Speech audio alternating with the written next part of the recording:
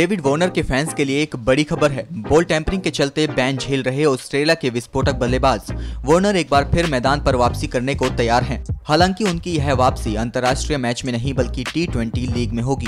Warner Canada की T twenty league global T twenty में खेलते नज़र आएँगे। विनीपेग हॉक्स टीम ने उन्हें अपनी टीम में शामिल किया है। बारह महीने का बैन झेल रहे डेविड वार्नर मैदान पर वापसी के लिए बेहद रोमांचित हैं।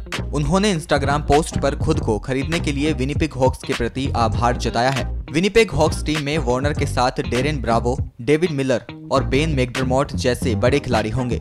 इस टूर्नामेंट में कनाडा की पाँच टीम और वेस्टइंडीज की एक टीम होगी। 28 जून से शुरू हो रहे टी मैच में, वहीं 26 जुलाई को फाइनल खेला जाएगा। आपको बता दें कि इसी साल मार्च में स्टीव स्मिथ, कैमरून बेनक्राफ्ट के साथ, डेविड वॉर्नर भी साउथ अफ्रीका के खिलाफ खेले गए टेस्ट मैच में बॉल टेम्परिंग करते पकड़े गए थे, जिसकी वजह से इन पर एक साल का बैन लगाया गया है। वहीं अंतर्राष्ट्रीय और प्रथम श्रेणी मैच खेलने पर भी रोक है, हालाँकि तीनों खिलाड़ी को लीग मैचों में खेलने की अनुमति है। इस घटना की वजह से वार्नर को आईपीएल में भी खेलने से रोक दिया गया था।